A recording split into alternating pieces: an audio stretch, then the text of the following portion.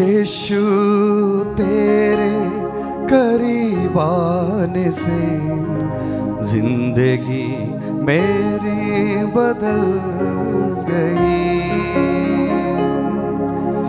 यीशु तेरे छूने से ज़िंदगी मेरी सवर गई। तालियों के साथ। ईश्वर को धन्यवाद देंगे। प्रभु के करीब आने के लिए कोशिश करेंगे प्रभु से प्रार्थना करिए, प्रभु, मैं तेरा करीब आना चाहता हूँ, ताकि मेरा जीवन, मेरा ज़िंदगी बदल जाए। ज़िंदगी बदलता है। लेकिन ज़िंदगी उनकी बदलती है, जिनके हृदयों पे ये वचन अंकित होता है, जो उसे दिन रात मनन करते हैं। जो सोते, बैठते, उठते, जागते समय, यात्रा करते समय, घर से बाहर आते, जाते समय, घर के भीतर आते समय जो उसको मनन करते हैं, जो उसको साथ रखते हैं, जो उस पर भरोसा करते, ज़िंदगी उनकी बदली है, दूसरों की नहीं बदली है। कई लोग तो ऐसे हैं कि सुनते हैं, लेकिन ज़िंदगी बदलती नहीं है। सिर पर हाथ रखा रखा के बाल निकल गए, गंजे हो गए, लेकिन ज़िंदगी अभी तक नहीं बदली है। जिस साधना में जाते हैं, जिस रिट्रीट में जाते हैं फादर जी प्रार्थना कर दो ले हैंड प्रेयर कर दो, यहाँ से लेकर पंजाब तक, पंजाब से लेकर केरला तक, केरला से लेकर तमिलनाडु तक, ना जाने कितनी यात्राएँ कर ली, ना जाने कितनी माता मरियम को हार, फूल, नारियल और जाने क्या क्या चढ़ाया, लेकिन कभी ज़िंदगी नहीं बदली। वो सोचते हैं कि ज़िंदगी बदली, लेकिन नहीं। फिर भी खुशी नहीं है। भाई कह रहे थे कि खुश रहो। भाई कह रहे थे, खुश रहो। लेकिन मैं ये देखता हूँ कि ये खुशी बाहरी है, अंदर से खुशी नहीं है। आप अपने आप से पूछिए कि क्या अंदर से आप खुश हैं? 95 परसेंट लोग आर्टिफिशियल खुशी को दिखाते हैं, दर्शाते हैं। पति पत्नी जब खाना खाने के लिए कहीं बाहर जाते हैं, मनमुटाव होता है तो वहाँ पर भी झगड़े होते हैं उनके। रेस्टोरेंट में भी झगड़े होते हैं। हनीमून पे जाएँगे, वहाँ भी झगड़े होते हैं उनके। किसी रिश्तेदारी में जाएँगे, वहाँ भी झगड़े होते हैं। क्योंकि वो आंतरिक खुशी उनकी ज़िंदगी में नहीं है। आंतरिक खुशी इसलिए ज़िंदगी में नहीं क्योंकि जीवन बदला ही नहीं अभी तक। तो आज के इस पवित्र दिन में मैं आपसे कुछ बातें साझा करना चाहता हूँ कि आखिर ये समस्याएँ क्यों है कि क्यों हमारा जीवन बदलता नहीं है? क्यों हम बदलते नहीं हैं? इतना वचन सुनने के बाद क्यों हमारी परिस्थितियाँ बदलती नहीं हैं? और परिस्थितियाँ इसलिए नहीं बदलती हैं क्योंकि हम अपने आप को नहीं बदलते हैं। आप किसी अपनी सास को बदलना चाहते हैं कि ये मेरी सास नहीं सुधरती, ये मेरी सास बदलती नहीं है। सास बोलती, मेरी बहू नहीं बदलती है, ये ऐसा करती हैं, वैसा करती हैं, इतना बोलती हैं, ये सेवा नहीं करती हैं, खाना नहीं देती हैं, और पत्नी बोलती हैं, पति ऐसा है। मतलब एक दूसरे के ऊपर दोषारोपण लगा, लगातार यही बात चलती रहती। और मैं इतने कन्वेंशंस में हर बार ये कहने की कोशिश करता हूँ कि आप ये सोच लीजिए कि जब कोई ना बदले तो आप अपनी ज़िंदगी बदल लीजिए, सब कुछ बदल जाएगा। हमारी समस्या यह है कि हम दूसरों को बदलना चाहते हैं, लेकिन हम नहीं बदलते हैं। और इसलिए हम कहीं पहुँचते नहीं, हमारे उद्देश्य कहीं पूरे नहीं होते हैं। हम जो चाहते हैं, कर नहीं पाते हैं, इसलिए संत पौलुस बहुत अच्छी तरीके से हमें बताता है कि हमारे अंदर एक द्वंद चल रहा है, एक लड़ाई चल रही है। किस प्रकार की लड़ाई? करूँ ना करूँ। खाऊं ना खाऊं। पहनूं ना पहनूं। माफ़ करूँ ना करूँ। प्रेम करूँ ना करूँ। ये लगातार हमारे अंदर एक लड़ाई चलती रहती है, क्योंकि आत्मा शरीर के विरुद्ध इच्छा करता है और शरीर आत्मा के विरुद्ध इच्छा करता है। कई लोगों ने सोचा होगा, आज उपवास करूँगा। कई लोगों ने सोचा होगा कि आज वचन सुनूँगा। कई लोग ये सोच के आए होंगे कि आज जो वचन सुनाया जाएगा, उसके द्वारा मेरी ज़िंदगी में कुछ आशीष आएगी, लेकिन ज़िंदगी नहीं बदली। अब आप पूछेंगे, फादर जी, आखिर क्यों ये ज़िंदगी नहीं बदलती है? तो मैं समझता हूँ, वचन सुनते हैं, सब कुछ करते हैं, लेकिन रास्ते नहीं बदलते हैं, इसलिए आपकी ज़िंदगी भी नहीं बदलती। तो ये बहुत सुंदर बात है कि अगर आप अपने आप को बदलना चाहते हैं, जीवन को बदलना चाहते हैं, अपनी ज़िंदगी को बदलना चाहते हैं तो अपना रास्ता बदल दीजिए और आप बदल जाएँगे। बोलिए आमेन। हालेलुया। यीशु की स्तुति हो। यीशु को धन्यवाद। यीशु की आराधना हो। यीशु की महिमा हो। यीशु को धन्यवाद। हे प्रभु यीशु, मैं आपका वचन सुनने के लिए आपके चरणों में आया हूँ। मुझ पर दया कीजिए, मेरे परिवार पर दया कीजिए। हालेलुया। हालेलुया। हालेलुया। एक सवाल मैं अक्सर पूछता हूँ कि आप सच्चे मसीह हैं? सोच समझ के बोलना। मेरे लिए भी लागू होता है कि आप सच्चे मसीह हैं? आर यू ट्रू क्रिश्चियन सोच लीजिए, उसके बाद मैं कुछ बोलने वाला हूँ आगे। फिर शायद जवाब ना आए आपको। पूछिए पूछिए पूछिए am I a true Christian am I a true follower of Jesus Christ क्या मैं यीशु मसीह का सच्चा अनुयायी हूँ?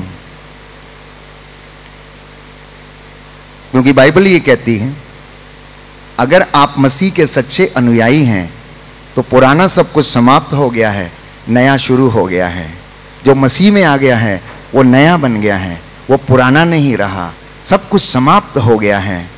लेकिन अगर आप ये कहते हैं कि हम सच्चे मसीह हैं तो सच्चे मसीहों में और गैर मसीहों में अंतर क्या है फिर? अंतर क्या है? आप में और उनमें अंतर क्या है? वो भी गाली देते हैं, आप भी देते हैं। वो भी झगड़ा करते हैं, आप भी करते हैं। वो भी गर्भपात करते हैं, आप भी करते हैं। वो भी नशा करते आप भी करते हैं।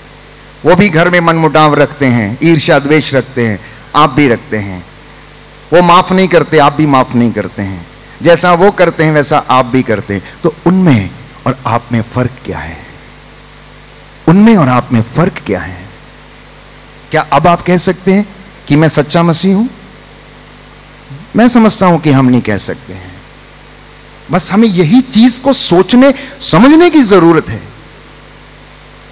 हम दिन रात प्रवचन सुनते हैं, बाइबल पाठ करते हैं मिश्रा बलिदान में भाग लेते हैं, आराधना में भाग लेते हैं, लेकिन जीवन नहीं बदल रहा। आप में से ना जाने कितने लोग ऐसे हैं जिन्होंने ना जाने कितनी बार पोट्टा में साधना की, तमिलनाडु में साधना किया, दमोला के चर्च में साधना किया, यहाँ पर ना जाने कितने सत्संग अटेंड किए, लेकिन ज़िंदगी अभी भी नहीं बदली। फिर भी कुछ ना कुछ कसक जो है, वो रह ही जाती है। क्यों रह जाती है?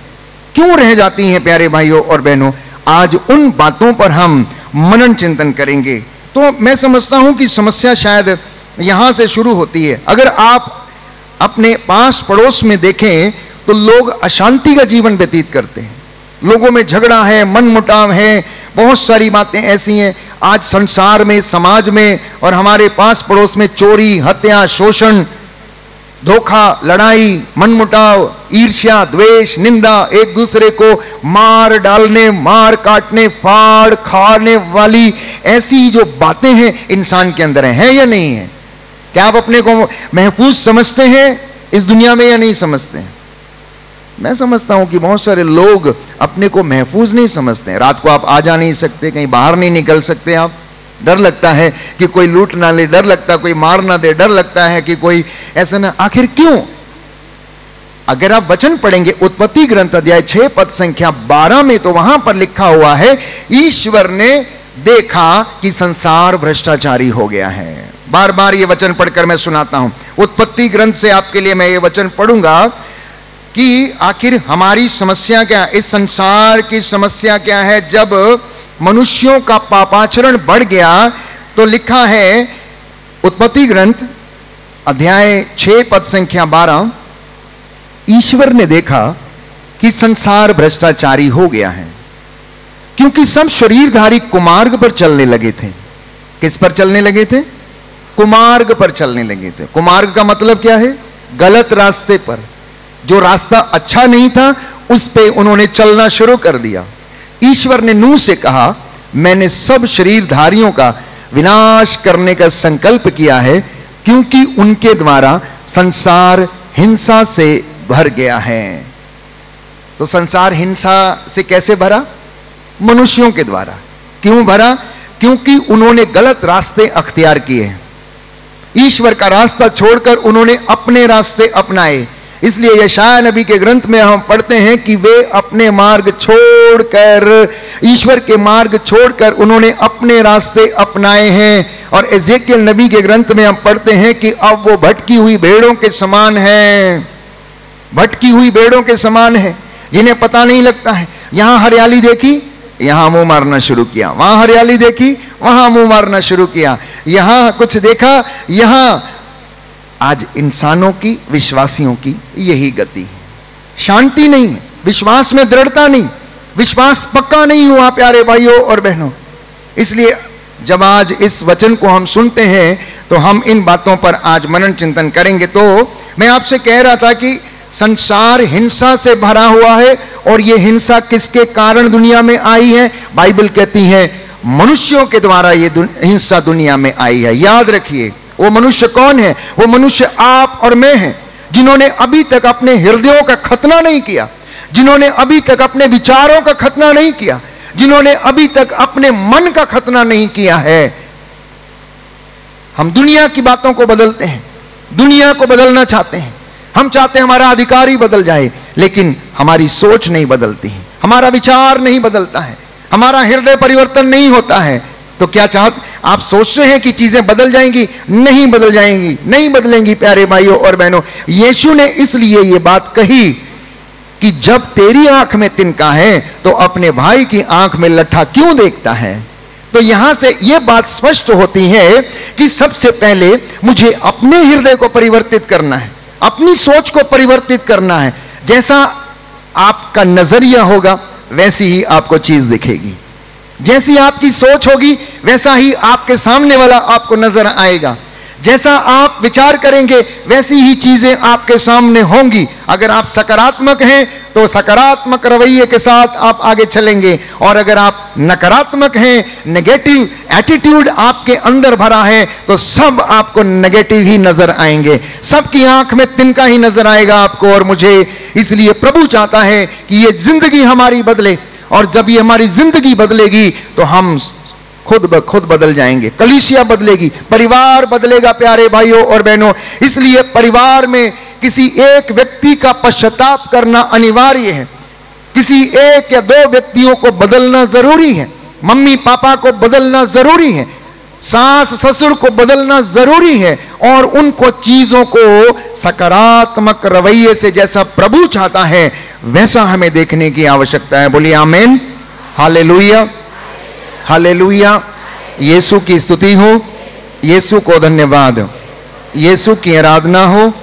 यीशु की महिमा हो। यीशु को धन्यवाद। हाले हालेलुया। हालेलुया।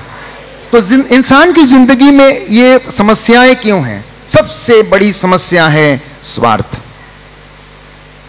हर इंसान में थोड़ा बहुत स्वार्थ जो है, वो छिपा हुआ है। उस स्वार्थ के कारण अपेक्षाएँ बहुत ज़्यादा हैं। और जब अपेक्षाएँ पूरी नहीं होती हैं तो अशांति घर में शुरू हो जाती है। ज़िंदगी में अशांति आनी शुरू हो जाती है। और ये अशांति क्यों है? पारिवारिक समस्याओं के कारण। बच्चों की ज़िंदगी को लेकर। लड़की जवान हो गई है, उसके जीवन को लेकर। आप चाहते हैं कि उसे किसी अच्छे व्यक्ति को सौंपा जाए, लेकिन वो कहीं और अपना दिल लगाकर बैठी हैं तो इसलिए मम्मी पापा अभी दुखी हैं। घर में अशांति का माहौल है। साथ में उठ के खाना नहीं खा उठ बैठ के खाना नहीं खा पाते एक दूसरे से आँखें नहीं मिला पाते एक इधर को जाता है तो दूसरा इधर को जाता है। सुबह मिले बिना चले जाते हैं। पारिवारिक समस्याएँ। दूसरा, आर्थिक तंगियों के कारण। तीसरा, आपसी रिश्तों में मनमुटाव है, खटास है, उसके कारण।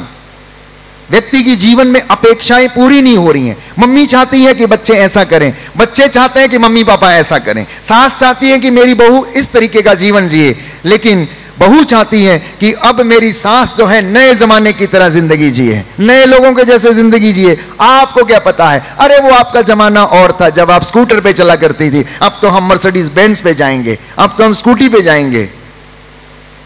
तो बहुत सारी बातों में, प्यारे भाइयों और बहनों, तालमेल नहीं बैठता है। इसकी वजह से क्योंकि हमारे अंदर स्वार्थ है, उस स्वार्थ के कारण अशांति है। उस अशांति के कारण मेरा और आपका जो जीना है, वो प्यारे भाइयों और बहनों, बहुत ज़्यादा उसमें उथल पुथल है। और यही कारण है कि मैं और आप परेशान हो जाते हैं। और कुछ लोग इस परेशानी से छुटकारा पाने के लिए फ़िल्म देखने लगते हैं।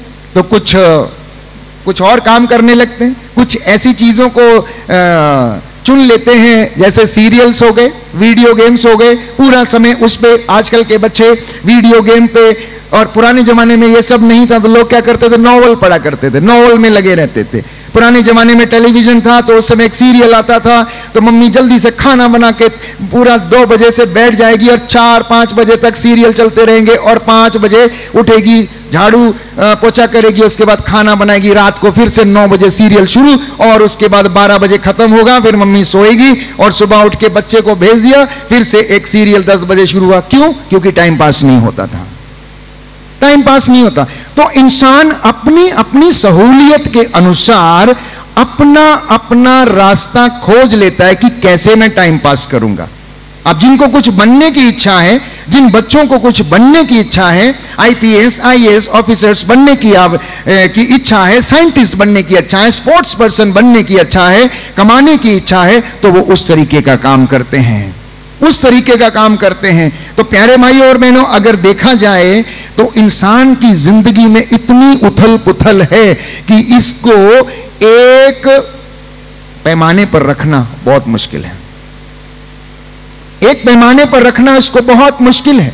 जैसे जैसे समय बीतता जा रहा है, हमारी समस्याएँ बढ़ती जा रही हैं, महँगाई बढ़ती जा रही है, आय कम है अपॉर्चुनिटीज़ कम है कॉम्पिटिशन ज़्यादा हो गए हैं। लेकिन हमारी जो आदत पड़ी हुई थी, उस आदत को अभी बदलने की आवश्यकता है। आपके बच्चे अब 5G वाले बच्चे हैं और आप अभी 2G वाले ही हैं, जिनको मोबाइल चलाना भी नहीं आता। समझ रहे नहीं कि समझ रहे। आपका बच्चा 5G है और आप अभी 2G में ही हैं। क्योंकि जितनी रफ्तार से वो सोचते हैं, उतनी रफ्तार से आपकी फ्रीक्वेंसी नहीं चलती है। ये फ़र्क है। अब इसमें तालमेल बिठाना, इससे परिवारों में एकता लाना, ये आपके लिए, मेरे लिए एड़ी चोटी का खेल है, प्यारे भाई और बहनों। हाले लुहिया हाले लुहिया यीशु की स्तुति हो, यीशु को धन्यवाद। यीशु की आराधना हो, यीशु की महिमा हो, यीशु को धन्यवाद। हाले लुहिया हाले लुहिया हम में से बहुत लोग सोचते हैं कि हम बड़े हो रहे हैं, हम बड़े नहीं हो रहे हैं, हम घट रहे हैं, हम घट रहे हैं। हम घट रहे हैं, जिस दिन आपको यह समझ में आ जाएगा कि हम छोटे हो रहे हैं, उस दिन आपकी ज़िंदगी में खुशियाँ ही खुशियाँ आ जाएँगी, प्यारे भाई और बहनों। कभी यह नहीं कहना कि मैं बड़ा हो रहा हूँ, मैं बुज़ुर्ग हो रहा हूँ, बल्कि मैं छोटा हो रहा हूँ, क्योंकि मेरी ज़िंदगी के दिन कम हो रहे हैं। मेरे लिए स्वर्ग का या नरक का द्वार जो है सामने नज़र आ रहा है वहाँ पर। स्वास्थ्य अच्छा है तो सत्तर बरस और स्वास्थ्य खराब है तो साठ बरस। आज हमारी ज़िंदगी के दिन कितने हैं, आप जरा सोच के देखिएगा। तो अपने मन में यह बिठा लीजिए कि आप क्या सोचते हैं अपनी ज़िंदगी को लेकर। कि मेरे पास केवल इतना समय बचा है और इतने समय में मैंने इतने काम करने हैं जो कि प्रभु की इच्छा के अनुसार होने चाहिए, वचन के अनुसार होने चाहिए, क्योंकि प्रभु का वचन ये कहता है, मेरे वचन आत्मा और जीवन है। यदि सावधानी से तुम इनका पालन करोगे तो तुम्हें लंबी आयु प्राप्त होगी। तुम दीर्घ आयु होगे और आत्मा के उत्तम वरदान आपको मिलेंगे। बोलिए, आमेन। हाले लुहिया यीशु की स्तुति हो, यीशु को धन्यवाद। यीशु की आराधना हो, यीशु की महिमा हो, यीशु को धन्यवाद। हाले तो इन सारी चीज़ों को यदि कुल मिला के देखा जाए तो आज इंसान की ज़िंदगी जानते हैं कैसी है? एक तरफ़ पाप, दूसरी तरफ़ पुण्य, एक तरफ़ सेवा दूसरी तरफ़ झूठ बोलना, एक तरफ़ सत्य बोलना, दूसरी तरफ़ झूठ बोलना, एक तरफ़ भलाई करना, दूसरी तरफ़ बुराई करना, एक तरफ़ प्रेम करना, दूसरी तरफ़ घृणा करना। अभी आपने प्रेम किया और बाहर जाके आप किसी से घृणा की बातें करते हैं। अभी आप प्रकाश में हैं तो उसके बाद आप अंधकार में रहने की कोशिश करते हैं। ये मेरी और आपकी ज़िंदगी है। और इसी कशमकश में इंसान, प्यारे भाइयों और बहनों डिप्रेशन में चला जाता है। अपने जीवन को खो देता है, बच्चों से अलग हो जाता है, घर बर्बाद हो जाते हैं। लेकिन फिर भी हमें आंतरिक खुशी जो है, वो नहीं मिलती है। और इंसानी ज़िंदगी में विपत्तियों का जो मूल कारण है, प्यारे भाइयों और बहनों, वो है ईश्वर की आज्ञा का पालन नहीं करना, ईश्वर के वचन पर नहीं चलना। ये इंसान की ज़िंदगी में जो मुख्य कारण है, विपत्तियों के जो मुख्य कारण है, वो इसलिए है। दूसरी बात, अपने रास्ते चुनना और उन पर चलना, ये इंसान की ज़िंदगी का, ज़िंदगी में विपत्तियों का अपना मूल कारण है। फॉर एग्ज़ाम्पल मम्मी पापा जो अनुभवी हैं, बुज़ुर्ग जो अनुभवी हैं, अपने बच्चे से ये कहते हैं, बेटा देखो, तुम्हारे लिए अभी ये उचित नहीं है कि आप ज़्यादा रफ्तार वाली गाड़ी लेकर रोड के ऊपर उतरो, क्योंकि जमाना अच्छा नहीं है, गाड़ियाँ बहुत आती जाती बेटा कहता नहीं नहीं, मैं तो चलाऊँगा, मैं तो चलाऊँगा। मम्मी को पता है, पापा को पता है कि अभी ये नहीं कर पाएगा, लेकिन वो ये डिसाइड करता है कि मैं चलाऊँगा। और जाता है, एक्सीडेंट होता है, उसके बाद अस्पताल पहुँचता है। कई परिवारों में, कई जगह पर ऐसा होता है। जब कोई व्यक्ति अपना रास्ता अपने हिसाब से चुनता है तो उसे दुर्घटनाओं का सामना करना पड़ता। है हाले लुहिया हाले लुहिया यीशु की स्तुति हो, यीशु को धन्यवाद। यीशु की आराधना हो, यीशु की महिमा हो, यीशु को धन्यवाद। हाले तो मैंने क्या कहा? विपत्तियों का मूल कारण क्या है? ईश्वर की आज्ञा का पालन नहीं करना। संसार भ्रष्टाचारी हो गया है, किसके कारण? इंसानों के कारण क्योंकि मनुष्य कुमार्ग पर चलने लगे हैं। तीसरा मैंने कहा, अशांति क्यों है? क्योंकि मनमुटाव है, स्वार्थ है स्वार्थ स्वार्थपरता है, अपने फ़ायदे के लिए हम करते हैं, इसलिए अशांति में जीवन व्यतीत करते हैं। फिर से मैंने कहा, आर्थिक तंगी है, इसके कारण परिवार में अशांति है, अपेक्षाएँ पूरी नहीं होती हैं इसलिए ज़िंदगी में बहुत सारे कष्ट आते हैं। तो ये एक चेतावनी है। जब हमारी ज़िंदगी में दुख आता है, कष्ट आता है तो ये प्रभु हमारी ज़िंदगी में एक चिन्ह के रूप में हमें दिखाता है। बेटा स्टॉप बेटा स्टॉप देखो, रुको, देखो और जाओ। रुको, देखो और जाओ। तो मान लीजिए जब ज़िंदगी में कोई बीमारी आती है, जब ज़िंदगी में कोई तूफ़ान आता है, ज़िंदगी में कोई महामारी आती है, ज़िंदगी में कोई कष्ट आता है, परिवार में कोई गड़बड़ी हो जाती है तो समझ लेना ये ईश्वर की ओर से एक चेतावनी के रूप में मुझे और आपको दिखाया जाता है कि परमेश्वर राज्य करता है और वो चाहता है, बेटा stop see and then go उसकी बातों पर अमल करने का वो समय है। समय के चिन्ह को पहचानने की आवश्यकता है। समय के चिन्ह को पहचानने की आवश्यकता है। कोरोना आया, इसके पहले बहुत सारी महामारियाँ आई। इसके पहले बहुत सारी महामारियाँ आई। परमेश्वर ने इसको होने दिया। उसका नतीजा क्या हुआ? लोगों को प्यारे भाइयों और बहनों, ईश्वर के वचन का, ईश्वर के अस्तित्व का एहसास हुआ। कि हम उसके बगैर कुछ भी नहीं है। लोग ऑक्सीजन के लिए तरस गए, लेकिन ऑक्सीजन नहीं मिली। लोग अपने पैसे पर भरोसा करते थे, लेकिन अपनी ज़िंदगी नहीं बचा पाए उनको समझ में आया, क्योंकि परमेश्वर उन्हें बताना चाहता था कि मैं हूँ मैं हूँ जो हूँ। प्रभु मेरा नाम है, ईश्वर मेरा नाम है। मैं अपनी महिमा किसी को भी नहीं दे सकता। यशाय नबी का ग्रंथ, अध्याय बयालीस में हम पढ़ते हैं कि मैं वो प्रभु हूँ, मैं अपनी महिमा किसी मनुष्य या किसी मूर्त को नहीं दे सकता हूँ।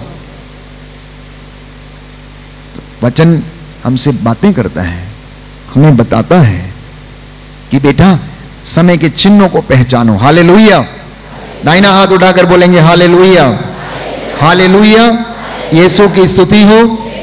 यीशु को धन्यवाद। यीशु की आराधना हो। यीशु की महिमा हो। यीशु को धन्यवाद। हाले लुहिया हाले लुहिया जैसे आपकी बातें हैं, प्रभु, हमारी ज़िंदगी में ऐसा क्यों नहीं होता? प्रभु, ये मेरी ज़िंदगी में क्यों नहीं मैं मकान बनाना चाहता हूँ, लेकिन हो नहीं ना प्रभु, मेरा केस फाइनल नहीं हो रहा है। व्हाट इज़ द प्रॉब्लम दस साल हो गए, पंद्रह साल हो गए। क्यों ये फाइनल नहीं हो रहा है? हो सकता है प्रभु ये चाहता है कि आप अपने मुद्दे से समझौता कर लो, लेकिन उसने इसके लिए आपको पंद्रह साल दिए कि आप अपने मुद्दे के साथ समझौता कर लो। और पंद्रह साल तक आप अभी तक केस नहीं जीते हैं।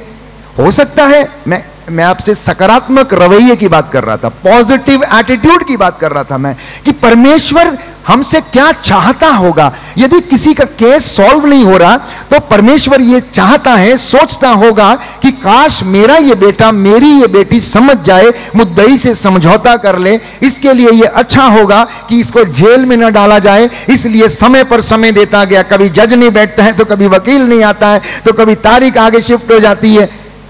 क्या हम ऐसा सोच नहीं सकते? क्या हम ऐसा सोच नहीं सकते? अगर हम प्रभु की इच्छा को समझने की कोशिश करें, उसके वचन को पढ़ने की, सोचने की कोशिश करें तो मैं समझता हूँ कि ऐसा भी संभव हो सकता है कि प्रभु यह चाहता है कि हम अपने मुद्दई से समझौता कर लें। यीशु ने कहा, कचहरी जाते समय तुम अपने मुद्दई से समझौता कर लो। कहीं ऐसा ना हो कि वो तुम्हें जल्लादों के हवाले कर दे। कहीं ऐसा ना हो कि तुम्हें बंदी गृह में डलवा दे। कहीं ऐसा ना हो कि वहाँ पर तुम्हें चक्की पीसनी पड़े, तब तब तुम कौड़ी कौड़ी ना चुका दोगे, तुम्हें वहीं रहना पड़ेगा। कैसा नहीं हो सकता? तो बाइबल प्यारे भाइयों और बहनों, क्षमा और प्रेम पर आधारित है।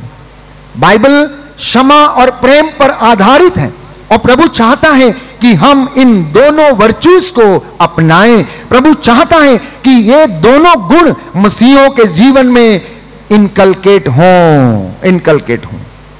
इसलिए मैंने आपसे कहा, अब आप बताइए कि क्या आप सच्चे मसीह हैं या नहीं हैं? क्या आप सच्चे मसीह हैं या नहीं हैं? यदि आप सच्चे मसीह हैं तो आप क्षमा करने में असमर्थ क्यों हैं? यदि आप सच्चे मसीह हैं तो सेवा करने में पीछे क्यों हैं?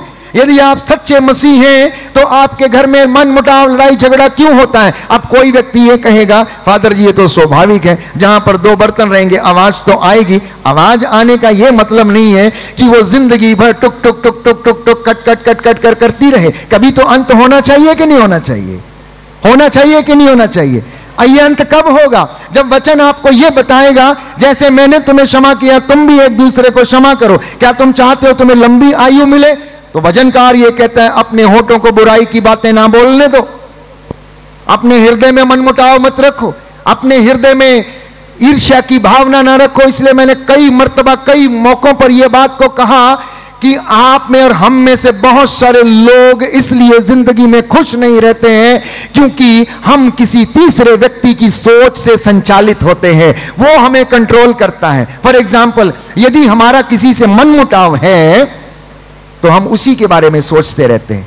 घर में अपनी ज़िंदगी से ज़्यादा हम उसको तवज्जो देते हैं। वो हमारी ज़िंदगी में क्या करता? वो हमारे लिए क्या कहता है? ये पड़ोसन हमारे लिए क्या करती है? रोज हमारे द्वार पे चप्पल रख के चली जाती है। रोज हमारा ऐसा करती मतलब हम दिन और रात के 24 घंटों में कम से कम चार घंटे उस व्यक्ति के विषय में बातें करते हैं जिसका हमारी ज़िंदगी से कोई लेना देना नहीं है। हम ये नहीं सोचते हैं कि आज परमेश्वर का वचन मुझे क्या कह रहा है। हम ये नहीं सोचते हैं कि हमारा आज का उद्देश्य क्या है। हम ये नहीं सोचते हैं कि आज हम खाना और स्वादिष्ट कैसे बनाएँगे। खाना बनाते समय ईर्ष्या, निंदा और ये तमाम बातें जो हैं हमें अपने अधिकार में लेके रहते हैं। आप में से जितने भी लोग बैठे हैं आस्क योर सेल्फ सिंसियरली कि हमारे दिन और रात के जो घंटे होते हैं, हो सकता है सात घंटे आप सोते होंगे, हो सकता है आठ घंटे आप काम करते होंगे, हो सकता है दो चार घंटे आप टीवी पे और इस पे मोबाइल पे रहते होंगे तो जब आप आपस में रहते हैं तो किन बातों को आप चर्चा करते हैं? किन बातों के विषय में आप सोचते हैं? मैं आपसे ये सवाल कर रहा हूँ, अगर आज आपने ये ज़िंदगी में सोच लिया, निर्धारित कर लिया कि ये मेरी ज़िंदगी के लिए अच्छा नहीं है तो आपका जीवन बदल जाएगा। बोलिए आमेन। हाले लुया हाले लुया हाले लुया यीशु की स्तुति हो, यीशु को धन्यवाद। यीशु की आराधना हो, यीशु की महिमा हो, यीशु को धन्यवाद। तो अशांति, विपत्ति, दुख कष्ट, महामारी और अनेक प्रकार की ऐसी बुराइयाँ ये ज़िंदगी में क्यों आती हैं? मैंने आपसे ये कहा कि ये परमेश्वर मुझे और आपको चेतावनी देता है। बेटा, अब रुकने का समय है।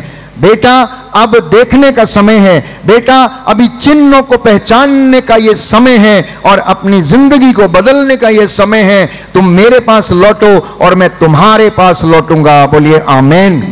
हालेलुया। हालेलुया। एक और बड़ी समस्या है। आप में से सब में से जो यहाँ बैठे हैं, मैं समझता हूँ विश्वासी हैं, जो वचन पढ़ते हैं, मसीह लोग हैं, जो वचन पढ़ते हैं, लेकिन वचन को अमल नहीं करते हैं, मैंने कहा। एग्जीक्यूट नहीं करते हैं। इधर से सुना, इधर से निकाल लिया। इस हॉल के बाहर जाएँगे तो हमारी ज़िंदगी वैसी ही रहेगी। वैसी ही रहेगी। एक एक वचन यहाँ जो सुना है, उसमें से कम से कम एक प्रतिशत अपनी ज़िंदगी में लागू कर लेना। आपकी ज़िंदगी में बदलाव शुरू शुरू हो जाएँगे, प्यारे भाइयों और बहनों। अपनी ज़िंदगी के क्षेत्र में एक प्रतिशत यदि आपने सुधार कर लिया तो मैं समझता हूँ कि वो आपकी ज़िंदगी का सबसे बड़ा चमत्कार होगा।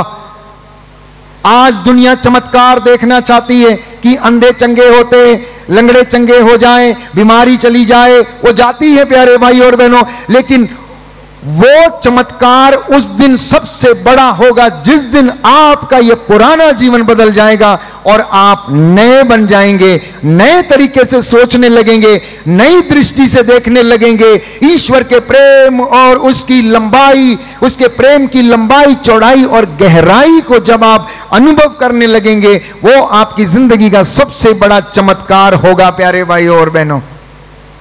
वो आपकी ज़िंदगी का चमत्कार होगा।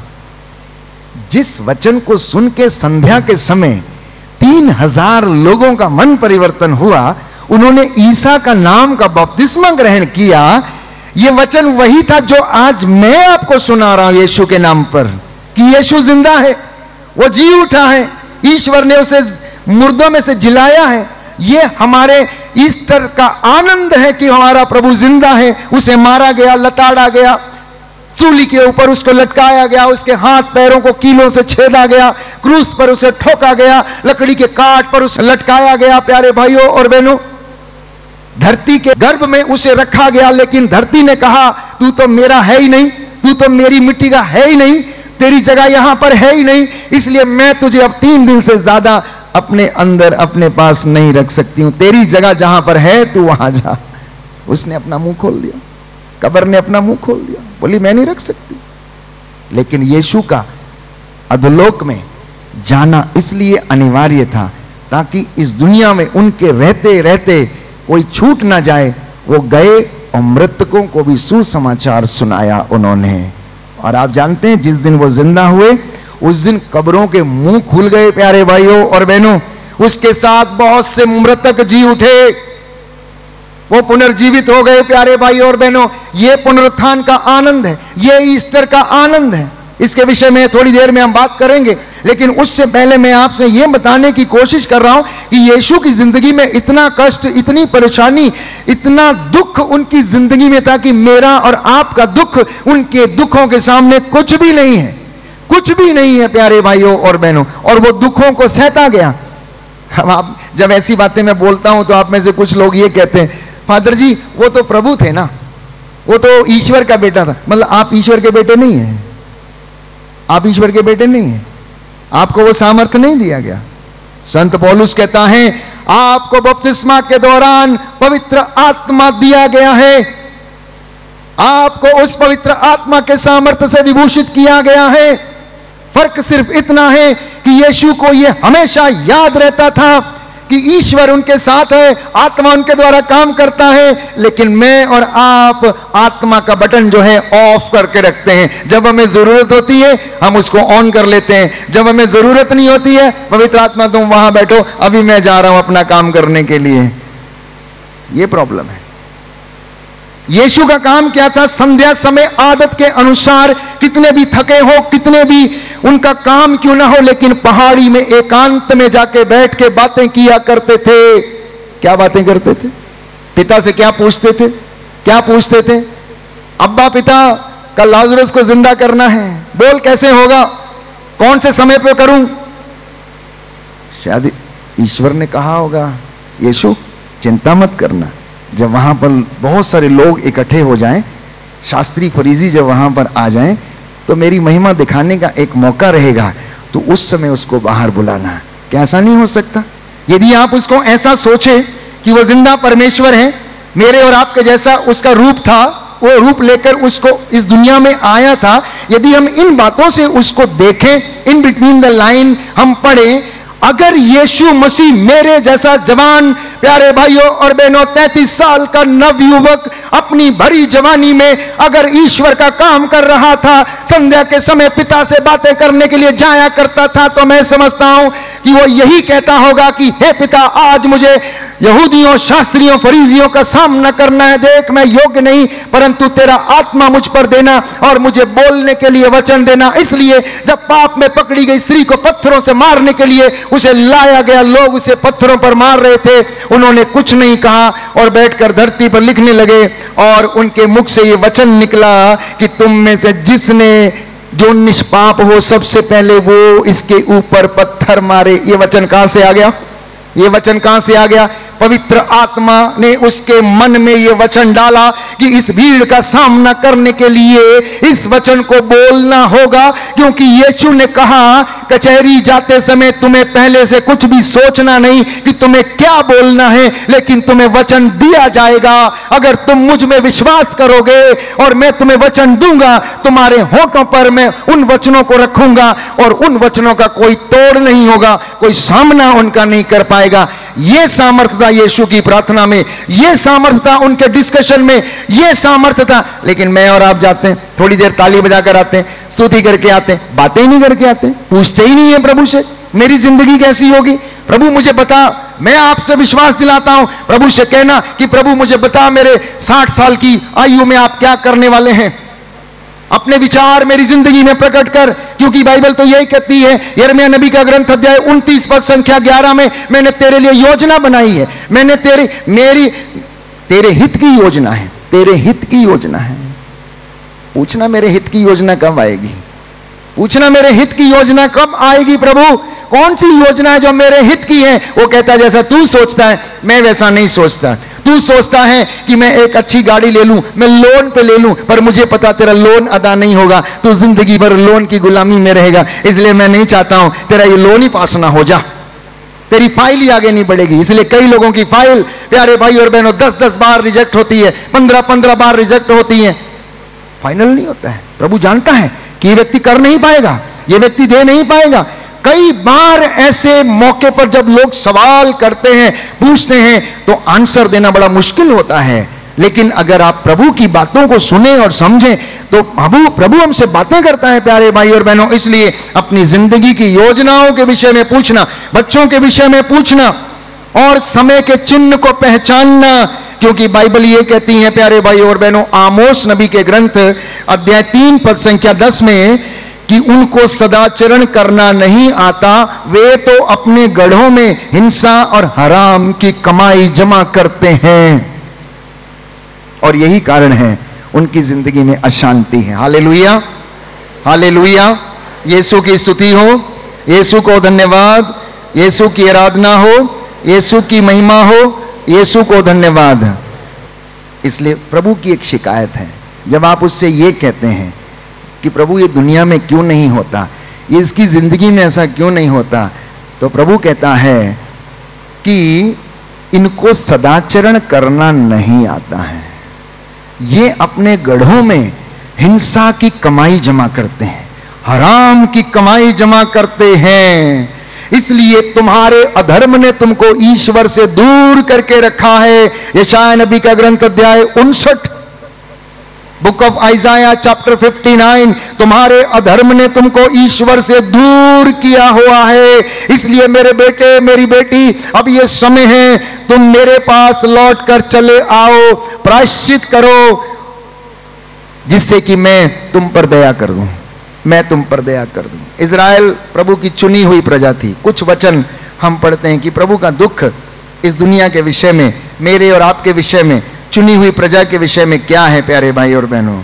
होशिया नबी का ग्रंथ, अध्याय दस, पद संख्या तेरह और उससे आगे book of Hosea chapter ten words thirteen onwards तुमने अधर्म के बीज बोकर हल जोता था। तुमने अधर्म के बीज बोकर हल जोता था। अतः तुम्हारी फ़सल अधर्म ही है।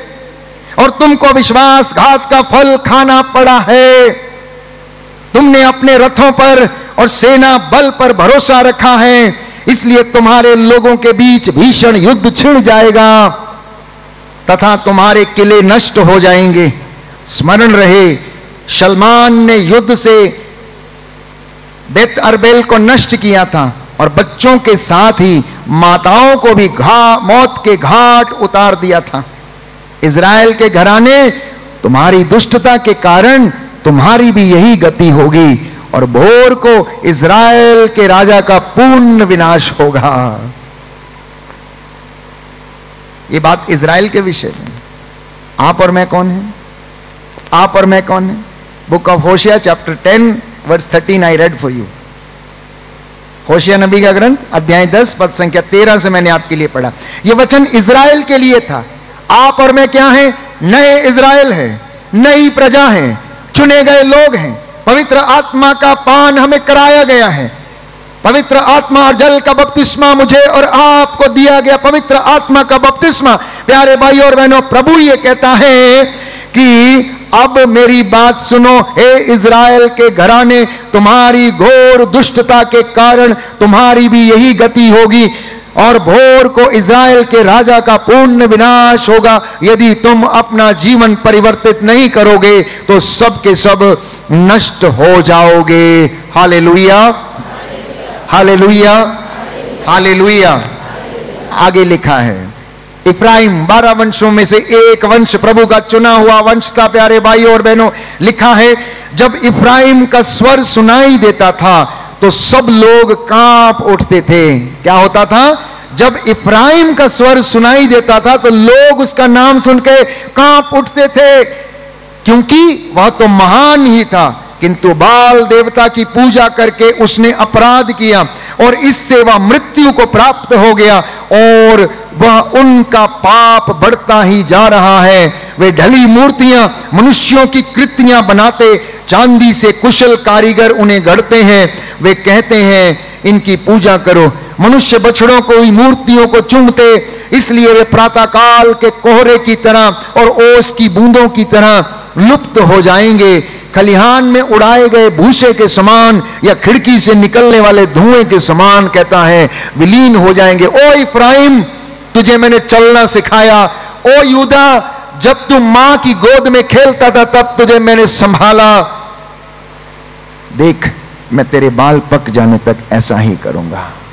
हे इज़राइल, हे यूदा, मैंने तेरे साथ कौन सी ऐसी नाइंसाफी की थी, जिसका तूने मुझे यह सिला दिया कि तू मुझे छोड़कर इन तमाम चीज़ों की, सृजित वस्तुओं की पूजा करने लगा। मुझे बता, ये परमेश्वर का प्यारे भाइयों और बहनों, दुख था जो इफ्राइम से और आपसे और मुझसे आज वो पूछता है कि मैंने तुम्हारे साथ ऐसा क्या किया है जिसका तुमने मुझे ये सिला दिया है? ये डालियाँ कितनी सुंदर थी, ये डालियाँ कितनी पवित्र थी, ये डालियाँ कितनी अच्छी थी, इनके फल इतने कड़वे क्यों हैं?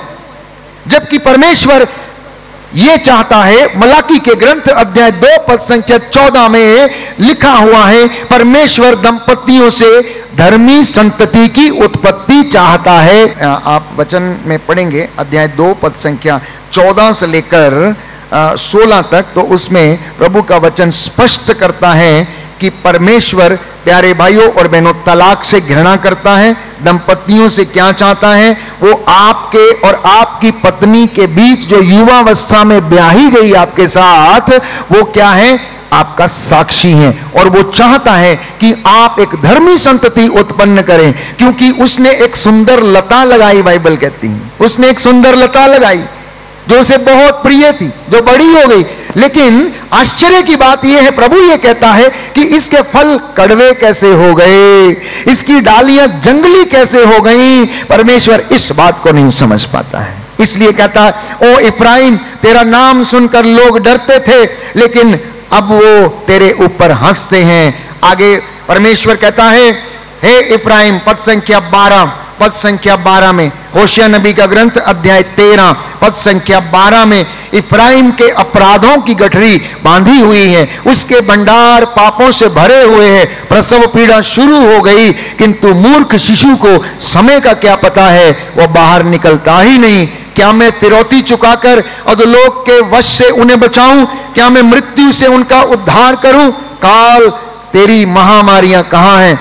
अधोलोक कहाँ है तेरा विनाश? मेरा तो कलेजा पत्थर हो गया है। इफ्राहिम नरकुल झुरमुट के बीच फले फूले तो सही, किंतु पुरवाई बहेगी। उजाड़ से प्रभु ईश्वर की सांस, उसके झरने बंद हो जाएँगे, उसके सोते सूख जाएँगे, उसका समस्त धन वैभव जो है वो लुट जाएगा। अगर इफ्राइम अपना जीवन नहीं बदलेगा। विश्वासी अगर अपना जीवन नहीं बदलेगा, मसीह यदि प्रभु की वाणी पर ध्यान देकर नहीं चलेंगे तो इसी तरह इफ्राइम के समान वो भी नष्ट हो जाएँगे। नरकुल जानते हैं क्या होता है? नदी के किनारे एक पानी वाला पौधा उगता है, जिस बहुत लंबा होता है, लेकिन अंदर से खोखला होता है। जब हवा आती है तो वो क्या करती है? उसका सिर जो है नीचे झुक जाता है, क्योंकि उसके अंदर अपना कोई स्ट्रेंथ नहीं होता। उस नरकुल झुरमुट की बात यहाँ पर नबी करता है, प्यारे भाइयों और बहनों होशिया नबी। तो मैं और आप, वही इफ्राइम है, वही इज़राइल है, वही यूदा है, जिन्हें आज परमेश्वर का वचन सुन के अपने मन को फिराने की आवश्यकता है। हाले लुहिया हालेलुया। हालेलुया। यीशु की स्तुति हो। यीशु को धन्यवाद। यीशु की आराधना हो यीशु की महिमा हो यीशु को धन्यवाद। Hallelujah hallelujah.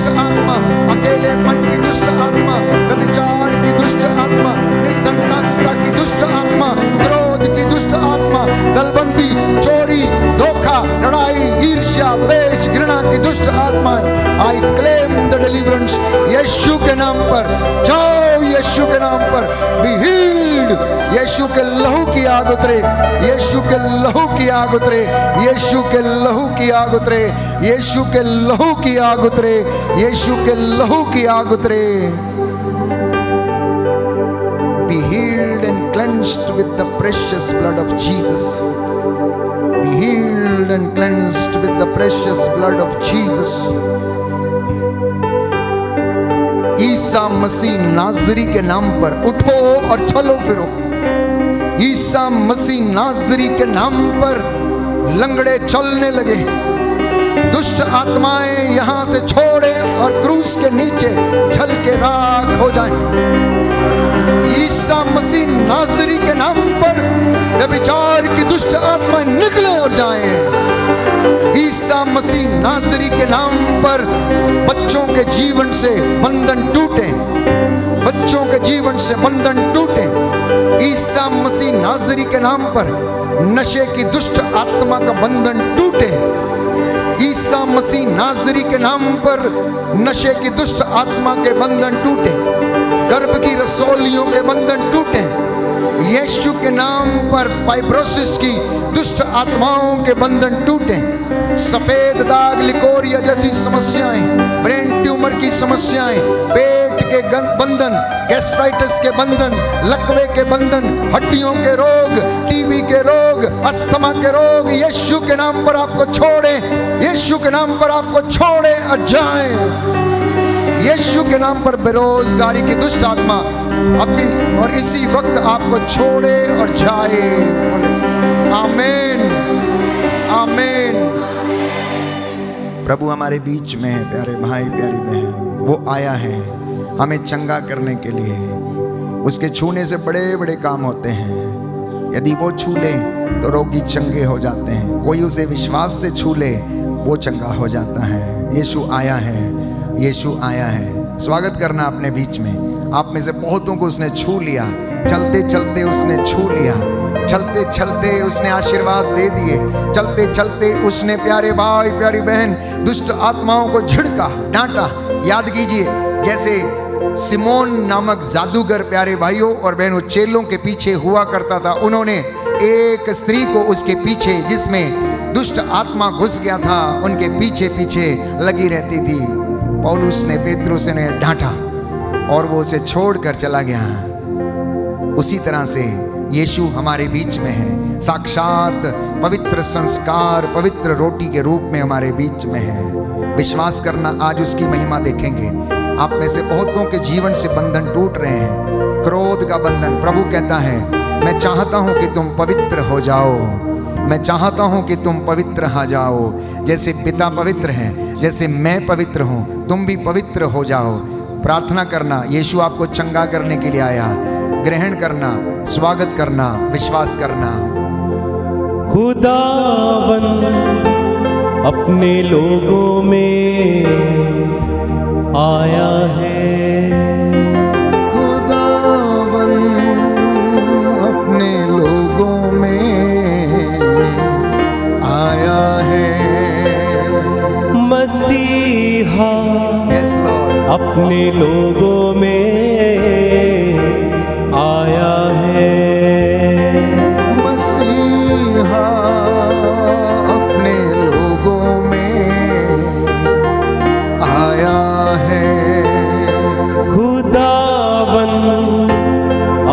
लोगों में आया है।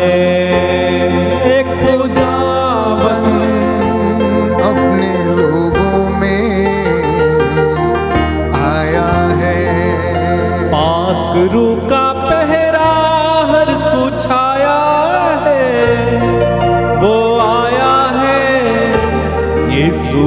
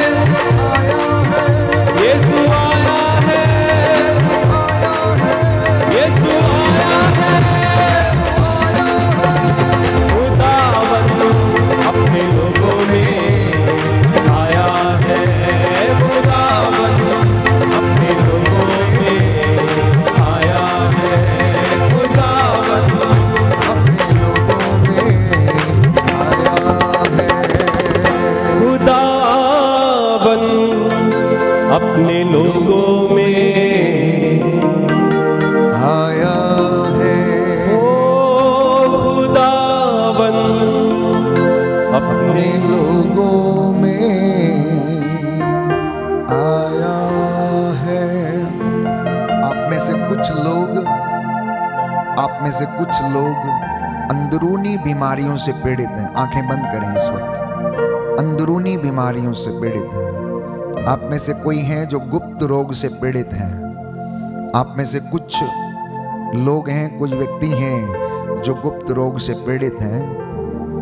प्रभु वचन दे रहे निर्गमन ग्रंथ अध्याय पंद्रह, पद संख्या छब्बीस। मैं वो प्रभु हूँ जो तुम्हें स्वस्थ करता है। मैं वो प्रभु हूँ जो तुम्हें स्वस्थ करता है। अगला वचन, अध्याय तेईस, निर्गमन ग्रंथ, पद संख्या 25 प्रभु आपसे कह रहे हैं, तुम अपने प्रभु ईश्वर की सेवा करोगे, मैं तुमसे बीमारियाँ दूर रखूँगा, तुम्हारे अन्न जल को आशीष प्रदान करूँगा, बीमारियाँ तुमसे दूर रहूँगा। ये वचन प्रभु ने दिया है विशेष रूप से उन लोगों के लिए जो अंदरूनी बीमारियों से पीड़ित हैं। विश्वास करना आप ईश्वर की महिमा देखेंगे। प्रभु से कहना कि प्रभु, मैं इस वचन को स्वीकार करता हूँ। मैं तेरी सेवा करूँगा। आज से मैं वादा करता हूँ। मैं अपने परिवार के साथ तेरी सेवा करूँगा। मैं अपनी कमजोरियों को प्रभु तेरे चरणों में रखता हूँ। जब मैं दुर्बल हूँ, तब मैं बलवान हूँ। बोलिए amen. Hallelujah. Hallelujah. Hallelujah. Yeshu की स्तुति हो। यीशु की धन्यवाद। यीशु को धन्यवाद। हालेलुया। आप में से कुछ हैं जो अस्थमा के रोग से पीड़ित हैं। यहाँ पर कोई हैं जो ब्रेन की गांठ से पीड़ित हैं। सर में निरंतर दर्द रहता है। प्रभु आपको स्पर्श कर रहे हैं, चंगाई प्रदान कर रहे हैं। आप में से कुछ हैं जो आँसू बहाते हुए प्रार्थना कर रहे हैं। आप में से कुछ हैं जो अपने परिवार को लेकर बहुत ज़्यादा चिंतित हैं। परिवार में मनमुटाव है। प्रभु कहता है, चिंता मत कर। चिंता करने से तुम में कौन अपनी आयु का एक घड़ी भर भी बढ़ा सकता है? प्रभु कहता है कि चिंता करने से तुम में से कौन अपनी आयु का एक घड़ी भर भी बढ़ा सकता है? चिंता क्यों करते हो? मैं तुम्हारे साथ हूँ। मैं तुम्हारे साथ हूँ। तुम चिंता क्यों करते हो? प्यारे भाई, प्यारी बहन, समर्पित करना। समर्पित करना, प्रभु से कहना कि प्रभु, यदि तू मुझे चंगा करेगा तो मैं चंगा हो जाऊँगा। तू मुझे स्वस्थ करेगा तो मैं स्वस्थ हो जाऊँगा। बोलते जाना बोलते जाना। जो लोग परेशान हैं, चिंता में, आर्थिक तंगियों से जूझ रहे हैं। नशे की दुष्ट आत्मा से पीड़ित है। नशे की दुष्ट आत्मा परिवार में काम कर रही है। पूर्वजों से चली आई निरर्थक जीवनचर्या, पाप, श्राप, बंधन आपके पीछे हैं। पारिवारिक ट्रांसजनरेशनल प्रॉब्लम्स की वजह से आपका परिवार खानदान गुजर रहा है। कहना यीशु के नाम पर आज मैं इस बंधन को तोड़ता हूँ। I cancel and disconnect every evil spirit in the name of Jesus. यीशु के नाम पर पूर्वजों से चली आई। निरर्थक जीवनचर्या के बंधनों को मैं तोड़ता हूँ, खारिज करता हूँ। कहना ज़ोर से कहना, प्रभु मेरे शरीर पर, दुष्ट आत्माओं का, रोग बीमारी का, तंत्र मंत्र का, जादू टोने का, प्रलोभन का कोई अधिकार नहीं है। प्रभु से कहना, ये शरीर ईश्वर का मंदिर है। ये शरीर प्रभु, तेरा मंदिर है। इसमें तेरी महिमा होने दे। बोले, आमेन। हालेलुया। हालेलुया। अपने शरीर को समर्पित करना प्रभु के हाथों में। प्यारे भाई, प्यारी बहन, प्रभु का वचन कहता है, तुम पवित्र बनो जैसे पिता पवित्र है। तुम पवित्र बनो जैसे पिता पवित्र है। प्रभु का वचन योशुआ के ग्रंथ में हम पढ़ते हैं कि तुम आज अपने आप को पवित्र करो। कल प्रभु तुम्हारी आँखों के सामने चमत्कार करेगा। बोलो, आमेन। आमेन। आमेन। अपने जीवन से, अंधकार की शक्तियों को, परेनियल सिर दर्द की दुष्ट आत्मा को, भीड़ की हड्डियों के रोगों को, लकवे की दुष्ट आत्मा को प्रभु के नाम पर कहना आई डिस्कनेक्ट आई कैंसल मैं अपनी ज़िंदगी से इन चीज़ों को, दुष्ट आत्माओं को, बुराई की आत्माओं को, रोग बीमारियों को कैंसल करता हूँ। बोलो आमेन। Amen. Hallelujah hallelujah hallelujah. Hallelujah. Hallelujah. Hallelujah. मैं जैसा भी हूँ मुझको कबूल कर ले। मैं जैसा भी हूँ मुझको कबूल कर ले। मैं जैसा भी हूँ मुझको कबूल कर ले। मैं जैसा भी हूँ मुझको कबूल कर ले।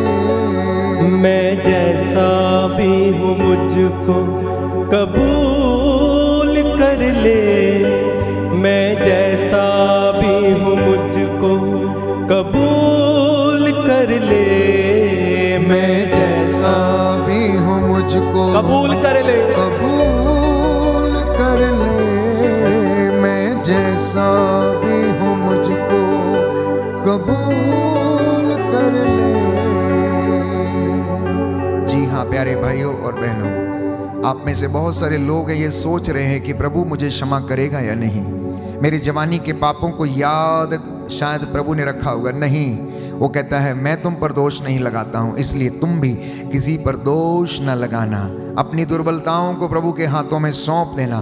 प्रायश्चित करना, प्रायश्चित एक निर्णय है। प्रायश्चित के द्वारा स्वर्ग के दरवाजे खुलते हैं। प्रायश्चित करने से बंधन टूटते हैं। प्रायश्चित करने से बरकतें आने लगती हैं। प्रायश्चित करने से प्यारे भाइयों और बहनों, फिर से आत्मिक उन्नति होने लगती है। प्रायश्चित करने से ईश्वर का राज्य, प्यारे भाइयों और बहनों हमें दिखने लगता है, उसकी सारी महिमा हमारे जीवन में छा जाती है। बोलिए आमेन। समर्पित करना हम। मैं जैसा भी हूँ मुझको कबूल कर ले। मैं जैसा भी हूँ मुझको कबूल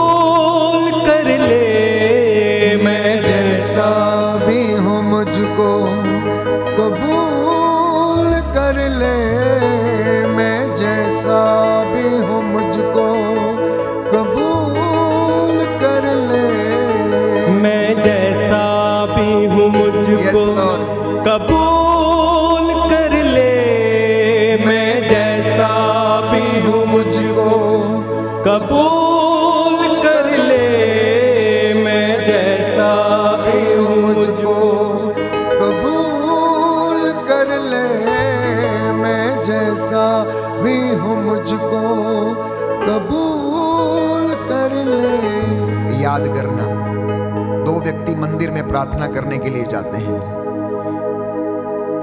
नाकेदार मंदिर के द्वार पर खड़ा होकर छाती पीट पीट कर प्रभु से प्रार्थना करते जाता है, मुझ पापी पर दया कर, मुझ पापी पर दया कर, मुझ पापी पर दया कर। और दूसरा प्यारे भाई और बहनों, वेदी के सामने छाती ठोक कर कहता है, मैंने उपवास किया, दान दिया, सब कुछ किया। प्रभु ने उसका चढ़ावा स्वीकार नहीं किया। यीशु ये देख रहे थे, उसलिए उन्होंने अपने शिष्यों से कहा, जानते हो कौन क्षमा प्राप्त करके घर गया? ये नाकेदार, जो छाती पीट पीट कर अपने गुनाहों को कबूल रहा था। वचन में ये नहीं लिखा कि उसने दान पुण्य नहीं किया। वचन में ये भी नहीं लिखा कि वो धर्मी नहीं था। वचन में ये भी नहीं लिखा कि उसने किसी की सेवा ना की हो। लेकिन फिर भी वो अपनी अयोग्यता, अपनी दुर्बलता को प्रभु को समर्पित करता है और प्रभु उस पर आशीर्वाद प्रदान करता है। इसलिए यीशु से कहना, मैं जैसा भी हूँ, टूटा, फूटा, लाचार, हो सकता है गलत कामों में फंसा हूँ नशे में फंसा हूँ लड़ाई, झगड़ा, मन मुटाव ऐसी तमाम बुरी बातें मेरी ज़िंदगी में होंगी। प्रभु प्रभु, मैं जैसा भी हूँ, वैसा मुझे कबूल कर। मैं इस योग्य नहीं, इस लायक नहीं कि तेरी हजूरी में खड़ा हो जाऊँ। मैं जैसा भी हूँ तो मुझे वैसा ही कबूल करना प्रभु। ओ ईसा नाजरी ओ ईसा नाजरी दाऊद के पुत्र मुझ पर दया करना और मुझे कबूल करना। मैं जैसा भी हूँ, मुझको कबूल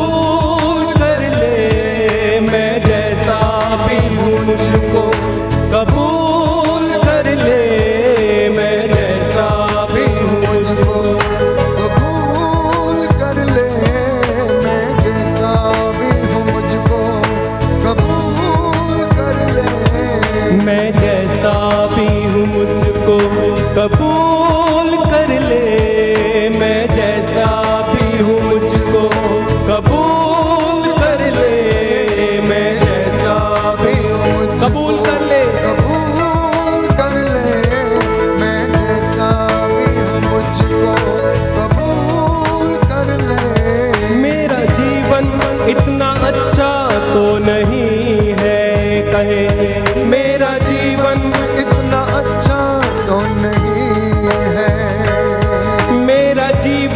इतना अच्छा तो नहीं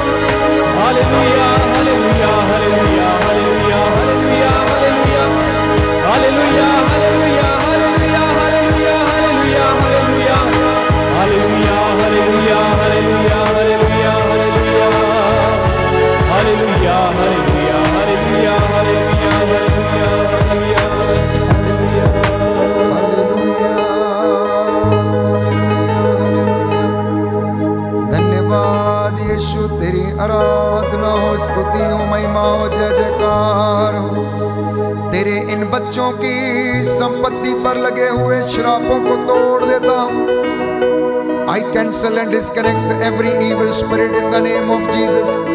Every curse that is on their property, on their house, यीशु के नाम पर अभी खारिज हो जाए हालेलुया हालेलुया आपके वैवाहिक जीवन पर लगे हुए हर एक बंधन को यीशु के नाम पर तोड़ते हैं तोड़ते हैं। यीशु के नाम पर कैंसल करते हैं। प्यारे भाई प्यारी बहन समर्पित करना। प्रभु का वचन स्त्रोत संख्या 107 पद संख्या। 17 में हम पढ़ते हैं कि कुछ लोग अपने कुकर्मों के कारण बीमार पड़ गए थे। वे अपने पापों के कारण कष्ट झेल रहे थे।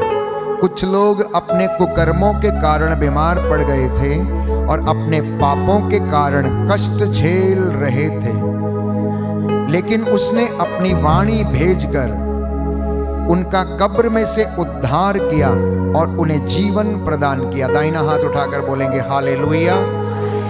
हे प्रभु यीशु मैं अपने पापों के लिए अपनी कमजोरियों के लिए प्रायश्चित करता हूँ क्षमा की याचना करता हूँ। क्षमा की याचना हे प्रभु यीशु हे प्रभु यीशु मेरे बंधनों को मेरे बंधनों तोड़ दीजिए। तोड़ दीजिए। परिवार पर लगे परिवार पर हर प्रकार के हर प्रकार के श्रापों को हर को तोड़ दीजिए। तोड़ दीजिए। आपके वचन के द्वारा आपके वचन के द्वारा पवित्र घावों के द्वारा घाव के द्वारा आज मेरी ज़िंदगी से आज मेरी ज़िंदगी से प्रकार का बंधन टूटे। हर प्रकार का बंधन टूटे। हालेलुया। हालेलुया। हे प्रभु यीशु हे प्रभु यीशु। मेरे कामकाज को मेरे काम काज मेरी नौकरी को मेरी नौकरी मेरे दफ्तर को मेरी संस्था को मेरी संस्था। आशीष प्रदान कीजिए। आशीष प्रदान कीजिए। Hallelujah. Hallelujah. Hallelujah. Hallelujah. Hallelujah. Hallelujah. Hallelujah.